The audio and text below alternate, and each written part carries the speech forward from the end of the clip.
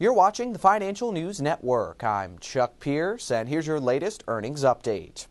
Michael Baker reported fourth quarter earnings this morning, posting an EPS of 43 cents, better than analyst estimates of 36 cents per share.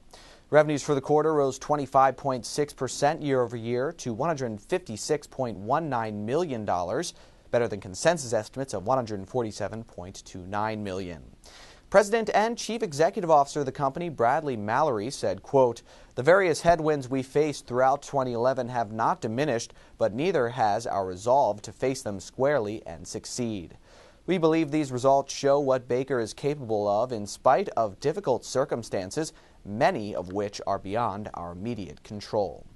Michael Baker has a potential upside of 19% based on a current price of $25.21 and an average consensus analyst price target of $30.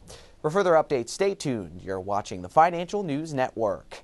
I'm Chuck Pierce.